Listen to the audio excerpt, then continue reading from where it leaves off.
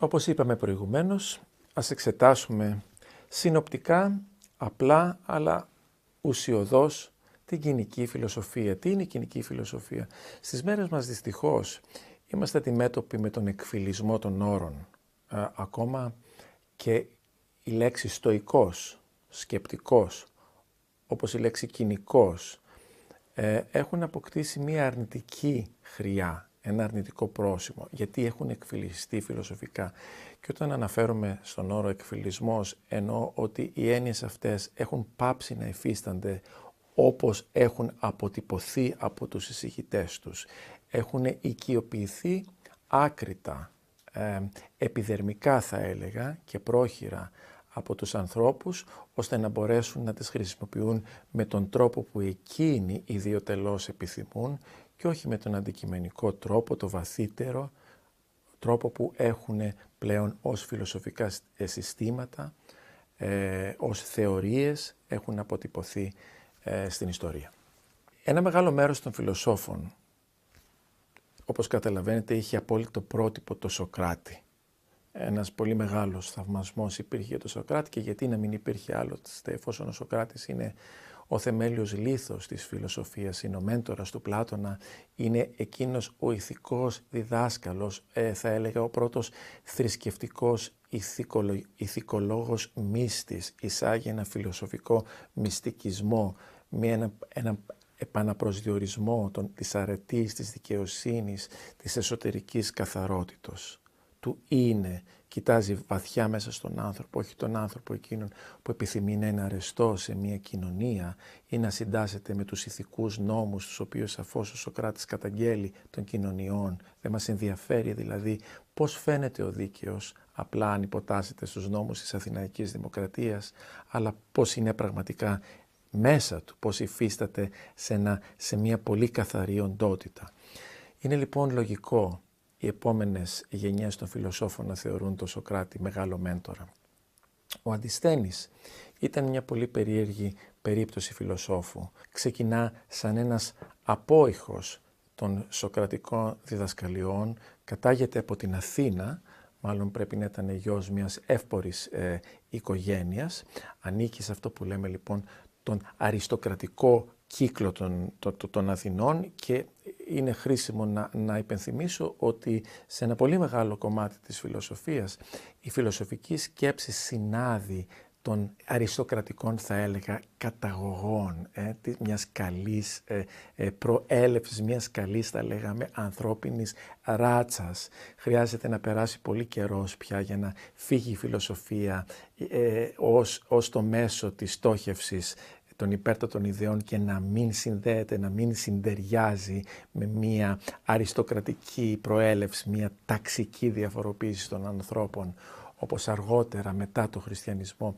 αλλάζει σκέψη, κατεύθυνση και πια όλοι δίνονται να, να ακουμπήσουν το Θεό, να αισθανθούν το Θεό, οι Θεοί πια ε, όπως στο παρελθόν ή μάλλον τώρα ο μοναδικός, ο ένας ο Θεός της, του, της χριστιανοσύνης, του χριστιανισμού, πια δεν είναι, δεν είναι μόνον ε, ε, θα έλεγα διαθέσιμος για τους φιλοσόφους και τους σοφούς, απλά είναι ε, ο Θεός για όλους τους ανθρώπους, για όλη την, την ανθρωπότητα. Καταργείται λοιπόν το προνόμιο των σοφών να γίνονται αποδεχτοί, να βρίσκονται στα ηλίσια παιδεία και να συνομιλήσουν ε, με τους θεούς ή να ύπτανται έξω από το δακτύλιο της Ελλήνης ε, και να κοιτούν την περιστροφή των άστρων επειδή ακριβώς υπήρξαν σοφοί ε, στη ζωή τους.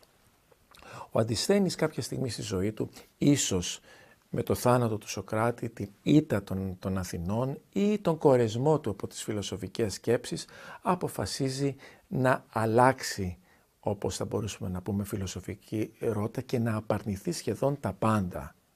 Έρχεται σε ένα σημείο πια που επιθυμεί όπως πολύ αργότερα μετά το διαφωτισμό ο Ρουσό στο κίνημα του ρομαντισμού να μιλήσει για μια επιστροφή στη φύση.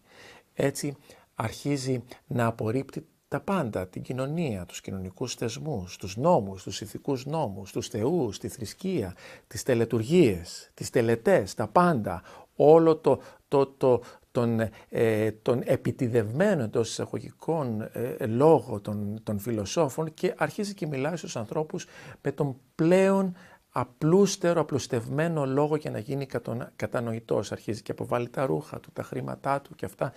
Ε, έρχεται δηλαδή στη, στην κυριολεξία, επιστρέφει στη φύση, ε, ε, απαρνιέται την κοινωνία και έτσι εισάγει ακριβώς το, ε, θα έλεγα το μότο του κινησμού, των, των, των κοινικών φιλοσόφων που είναι κατ' ουσίαν ο αντικομφορματισμός. Επιθυμεί να σπάσει τα δεδομένα, να σπάσει τους νόμους, να σπάσει οτιδήποτε θα λέγαμε στις μέρες μας ε, ε, την κοινωνικοποίηση. Τον άνθρωπο ο οποίος είναι ένα κομμάτι του όλου υπακούει στους νόμους, υπακούει στην πολιτεία, κατά τον αντισταίνει αυτό δεν μπορούσε να γίνει. Έτσι βγαίνει στη φύση, αφήνει το σπίτι του και αρχίζει και ε, ε, συνδιαλέγεται με τους απλούς ανθρώπους με τον υπεραπλουστευμένο λόγο που πια δεν είναι φιλοσοφικός, αλλά είναι ένας λόγος της καθημερινότητας. Να πω ότι ο, ο, ο Αντισθένης αντιμάχεται ιδιαιτέρως στις αισθήσεις, την ειδονή αντιμάχεται ε, επιθυμεί δηλαδή να μπει σε μία οδό αρετής. Άρα βλέπουμε ε, ένα πρώτο συμπέρασμα ότι αυτό που σήμερα αποτελούμε κινησμός ε, δεν απάδει των αρετών.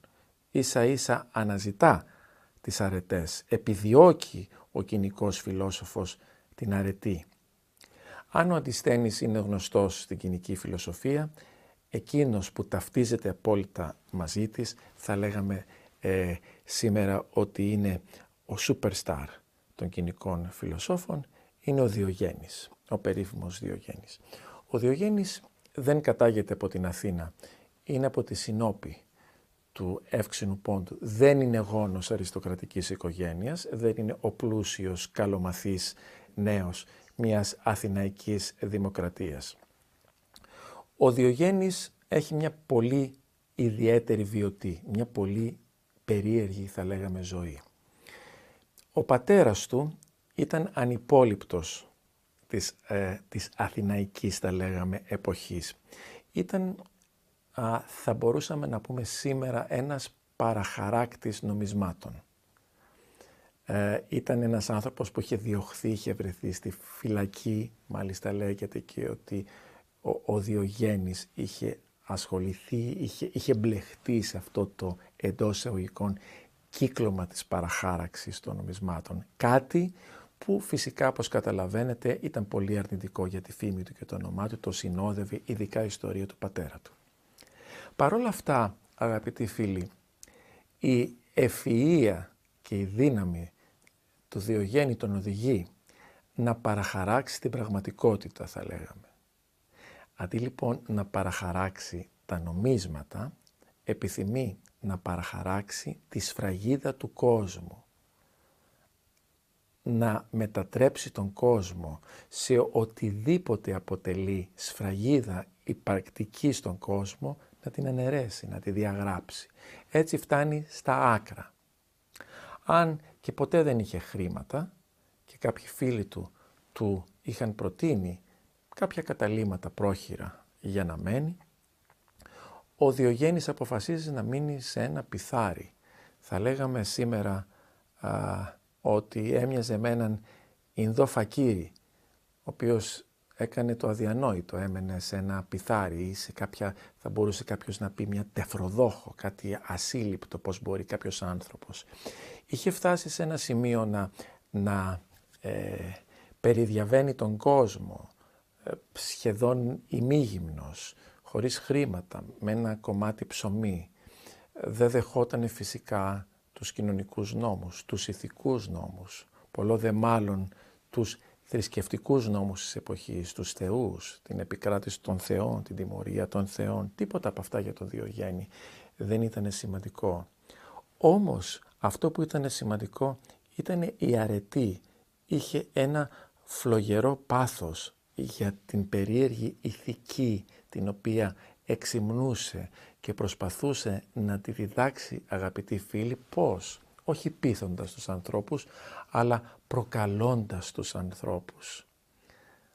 Ο Διογέννης ήταν αυτό που λέμε σήμερα η εχμή του δόρατος σε ένα κοινωνικό ευπρεπισμένο περιβάλλον το οποίο ήθελε με πολύ μεγάλη δόση ηρωνίας αλλά μια ηρωνία που είχε τη δύναμη να εφαρμόσει στη ζωή του να αναιρέσει, να φτάσει στο σημείο δηλαδή όχι απλά να καταγγείλει τα κακό κείμενα αλλά να, να, να θεωρεί ότι δεν υπάρχει τίποτα, όλα είναι περιτά γύρω μας. Α, θα μπορούσα να ισχυριστώ ότι είχε ένα κομμάτι φιλοσοφίας το, το οποίο θα μπορούσε να μοιάζει με τον ταοισμό, με το ταό, με τη φυσική εξέλιξη του σύμπαντος ή ακόμα με κάποιες από τις θέσεις και τους ισχυρισμούς του Ρουσό.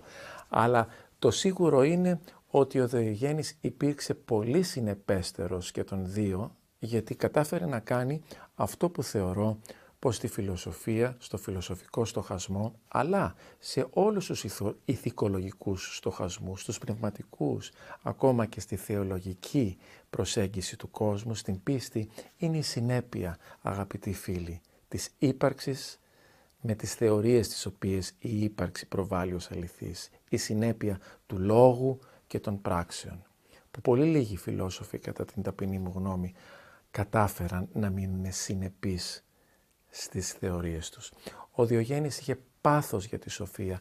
Ε, ε, δεν έχουμε πολλές ε, πηγές για τη ζωή του Διογέννη. Ο συνήθις ύποπτος των, των πηγών αυτών είναι ο Διογέννης Λαέρτιος, ο, εκείνος που έχει καταγράψει πολλούς βίους φιλοσόφων, αλλά στην πολύ προσεκτική ανάλυση, στη λεπτομερή προσέγγιση των πηγών αυτών, δεν ξέρουμε πόσα πραγματικά από αυτά που έχουν αποτυπωθεί ως αληθή γεγονότα παραμένουν ε, αληθή, παραμένουν δηλαδή, δεν είναι άμυρα δυσκολιών στην ιστορική ε, διερεύνηση.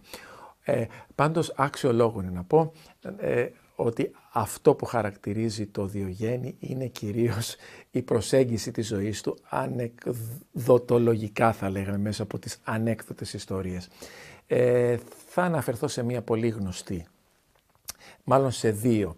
Η πρώτη είναι ότι όταν ε, επεχείρησε να, να βρεθεί ενώπιον του, του Αντισθένη σαν ένας υποψήφιος μαθητής εξαιτίας προφανώς της κακής οικογενειακής φήμης που συνόδευε το Διογέννη, δηλαδή της παραχάραξης των νομισμάτων, μιας πλαστογραφίας ας πούμε της εποχής, δεν ήταν αποδεκτός σε ένα φιλόσοφο ο οποίος μεριμνούσε υπέρ της αρετής, υπέρ της υπηρκείμενης αλήθειας, υπέρ του, ε, καταλαβαίνετε, ήτανε, δεν θα ήθελε ποτέ κανείς ένα τέτοιο μαθητή με, ε, με λερωμένο ποινικό μητρό. Έτσι παίρνει τη βακτηρία του ο, ο, ο Αντισθένης και αρχίζει και χτυπά στο κεφάλι τον καημένο το Διογέννη για να τον διώξει, έτσι λέει ο ανέκδοτος, αυτή, η ανέκδοτη αυτή η ιστορία. Αλλά ο Διογέννης είχε τέτοιο μεγάλο πόθος στην καρδιά του για τη Σοφία και έλεγε ότι ακόμα και να μου το σπάσεις, ακόμα θα σπάσεις το ξύλο, εγώ δεν πρόκειται να φύγω. Και αυτό ίσως την φιλοσοφική σκληροκαρδία ή την άμεμπτη φιλοσοφική ηθική του Αντισθένη την ε, κατάφερε να την μαλακώσει και έτσι δέχτηκε το Διογέννη σαν μαθητή του. Μία άλλη ιστορία για τον, ε, για τον συμπαθή φιλόσοφο Διογέννη είναι ότι κάποτε ε, βρέθηκε ενώπιον του, του τρανού, του μεγάλου, του ηρωικού, του μυθικού, του ημίθεου μεγάλου Αλεξάνδρου, ε, βρέθηκε μπροστά του και ο, ο Μέγας Αλέξανδρος, όπως ε, παρακολουθείτε καμιά φορά στις, στις τηλεοράσεις σας, στις επισκέψεις των πρωθυπουργών, των προέδρων των δημοκρατιών, σε απλές περιοχές, σε χωριά, σε παραμεθόριες σε περιοχές και όταν βρίσκονται μπροστά σε απλούς ανθρώπους, τους λένε τι, μπορεί, τι μπορώ να κάνω για σένα, τι θες παππού, τι θες γιαγιά, τι μπορώ να κάνω για σένα. Και συνήθως εκεί είναι η χρυσή ευκαιρία, είναι αυτό που λένε στην Αμερική τα πέντε λεπτά της τηλεόρασης ή το ένα λεπτό της τηλεόρασης που μπορείς να γίνεις γνωστός. Εκεί λοιπόν έχεις την ευκαιρία να πεις για την αύξηση της σύνταξης, για τους μισθούς, για τους διορισμούς στο δημόσιο, ε, για, για το όριο της ασφάλισης, ποια ηλικία πρέπει να συνταξιοδοτείται ο άνθρωπος. Και ο Διογέννης τι απαντά λοιπόν στη μεγάλη ευκαιρία της ζωής του. Δεν καταγγέλει τίποτα, δεν ζητά τίποτα, απλά ζητά από τον Αλέξανδρο να κάνει πιο να μην του κόβει τον ήλιο. Προσέξτε παρακαλώ πολύ και αναρωτηθείτε πώς εξημών, ποιοι από εμάς σε μια τέτοια ευκαιρία δεν θα ζητούσαμε κάτι; Ε, μπορείτε να καταλάβετε τι σήμαινες σε εκείνη την εποχή να έχεις το στρατιλάτη ή τον Κέσαρα. Εκείνες τις εποχές όλες αυτές οι μορφές ήταν συνειφασμένες με θεότητα. Ήταν οι μύθοι, ήταν λυτρωτές, ήταν σωτήρες. Έτσι αναφερόντουσαν στην ιστορία. Φανταστείτε τη δύναμη ενός απλού ανθρώπου που ζει σε ένα λιθάρι όταν βρίσκεται μπροστά στον Κύριο, στο σωτήρα του κόσμου, τον ελευθερωτή, τον άρχοντα του κόσμου, να μην ζητά τίποτα. Αυτό αποδεικνύει για άλλη μια φορά πώς ο Διογέννης ήταν συνεπέστατος στην ηθική του θεώρηση μπροστά στην ευκαιρία της ζωής του να εκλαϊκευθεί και να αφήσει τις φιλοσοφικές του θεωρίες, όπως κάνουν οι περισσότεροι από εμάς, όταν κατεβαίνουν από το θόκο, από το θρόνο των διδασκαλιών τους, όπου και να βρίσκονται αυτές οι διδασκαλίες, και κατεβαίνουν στον απλό κόσμο της πραγματικότητας, που εκεί εξακολουθούν να είναι βασιλείς, εκεί δεν υπάρχει ισότητα, εκεί δεν υπάρχει η δικαιοσύνη, εκεί δεν υπάρχει το αγαθόν, αλλά υπάρχει η ατομική ιδιοτέλεια που κρύβεται πίσω από τις ιδιότητες και τους ρόλους; Ακριβώς αυτούς τους ρόλους, αυτή την ιδιοτέλεια του πνεύματος, αυτή την απέκδυση όλων των σφραγίδων που μας θεσμοθετούν να υπάρχουμε ως όντα, να μας σέβονται, να μας υπολείπτονται, να είμαστε κάποιοι, να είμαστε τρανοί, να έχουμε ένα ρόλο σε αυτή τη ζωή, να είμαστε ένα συνονθήλευμα προσωπικών επιτευγμάτων και όχι απλά να υπάρχουμε δεχόμενοι το δώρο της ζωής, της ύπαρξης, του αιώνιου είναι, το οποίο δεν ταυτίζεται με ένα ατελέσφορο, διαρκές γίγνεσθε των πραγμάτων. Αυτό κατά τη γνώμη μου προσπάθησε ο Διογέννης και ήταν τόσο περήφανος αγαπητοί φίλοι που ταυτιζόταν με τη λέξη «κίον σκύλος». Ήταν τόσο χαρούμενος όταν οι άνθρωποι τον, τον αποκαλούσαν σκύλο, ένα σκύλο που γυρνά από εδώ και από εκεί προσπαθώντας να διδάξει σοφία. Και κλείνοντας το αφιέρωμά μας για την κοινική φιλοσοφία και το Διογέννη, θα ήθελα να πω ένα τρίτο ανέκδοτο, ανέκδοτη πληροφορία, αλλά θεωρώ ότι είναι πολύ όμορφη και σημαντική και θα επιθυμούσα να τη μοιραστώ μαζί σας.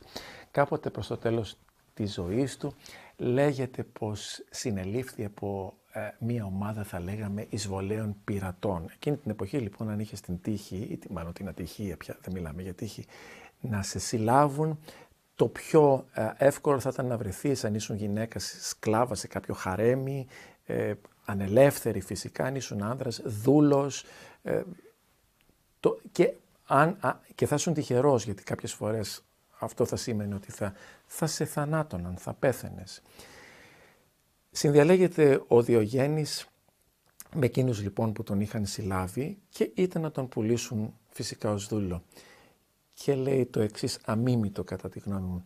Λοιπόν στον υποψήφιο αγοραστή του ότι ξέρεις κάτι θα ήθελα για να είμαι χρήσιμος να με πουλήσετε σε κάποιον που επιθυμεί να αγοράσει έναν αφέντη, σε κάποιον που επιθυμεί να αγοράσει ένα δάσκαλο, γιατί θεωρώ ότι είμαι πολύ καταλληλότερος να είμαι δάσκαλος ενός ανθρώπου παρά να είμαι ο δούλος του, γιατί έχω πραγματικά πράγματα να του μάθω. Και λέγεται ότι βρέθηκε κάποιος πολύ τολμηρός που το έκανε. Αυτό είναι ένα ανέκδοτο, δεν ξέρουμε αν είναι αληθές ή αν είναι ψευδές, αλλά έστω και να αποτελεί μια λιγορία ή ένα μύθευμα, μπορούμε να λύσουμε κάποιες ιδιαίτερες ε, ε, ιδέες για την φιλοσοφία, την κοινική του περιπλανόμενου ανθρώπου, ενός περιπλανόμενου εντός εισαγωγικών σκύλου που είχε απαρνηθεί τα πάντα προσπαθώντας να διδάξει την αγάπη, την αρετή, με τον περίεργο, γκρινιάρικο,